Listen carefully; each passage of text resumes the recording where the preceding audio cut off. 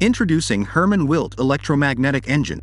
The patent describes an advanced electromagnetic engine that operates through a unique interaction of magnetic forces to produce mechanical energy.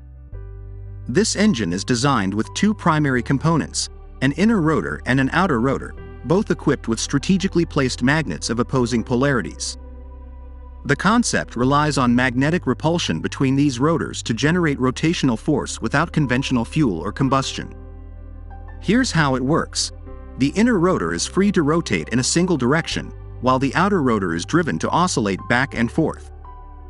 The opposing magnetic fields on each rotor create a repelling force, and when the outer rotor is timed to align its magnets with those of the inner rotor, it pushes against the inner magnets, driving rotation.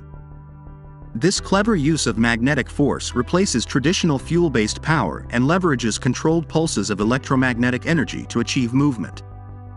The system uses springs and holding gears to stabilize the process and maximize efficiency, while EPROM circuitry manages the precise timing needed to optimize the engine's operation. An important feature of this engine is its ability to regulate energy use. Once the engine reaches its optimal operating speed, it can generate sufficient electrical energy to sustain itself for a period of time.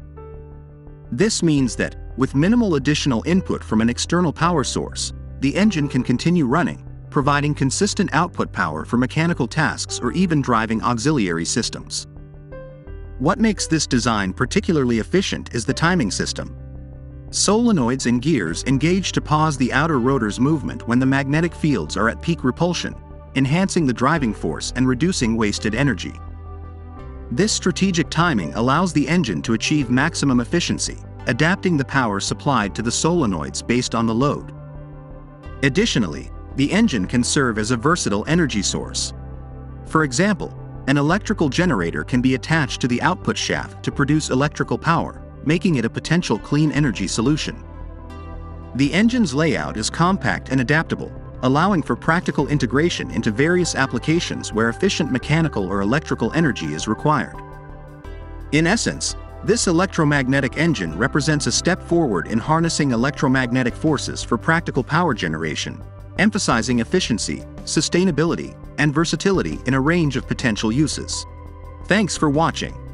If you enjoyed this video, don't forget to like, subscribe, and hit the bell icon for notifications. Leave a comment below with your thoughts, and I'll see you in the next one.